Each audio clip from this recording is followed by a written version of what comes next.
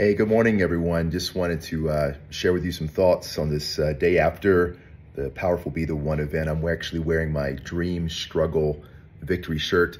It's a beautiful uh, sunrise morning here in uh, Provo, Utah. Turn the phone around and let you uh, see that. Dream, struggle, and victory.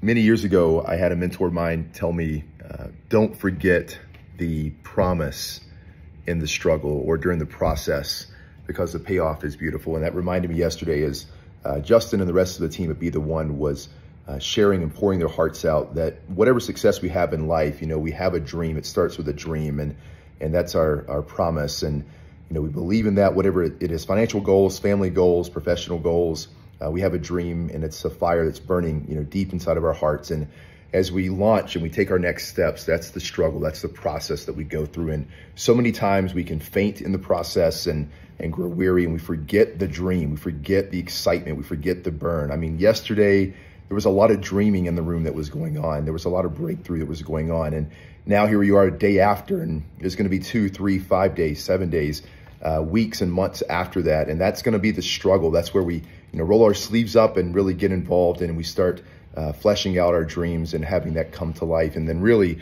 the last part of that is the victory. That's the payoff. And I just want to challenge you all today as I'm, you know, living this out myself. Uh, whatever your dream is, maybe you're at the beginning stages of the dream or you're in the struggle. Uh, I just want to, you know, encourage you. Don't forget the dream. Stay strong in the struggle because the victory, the payoff is beautiful. I uh, want to share more with you all uh, on this journey, the thoughts and processes as I've been challenged uh, just over the past couple of days and really looking forward to the next step. So go out there today, big dreams, embrace the struggle as wonderful opportunity, you know, uh, to grow, to become stronger, to be better at what you are, and uh, looking forward to the victory uh, that is ahead. Have a great day, everyone.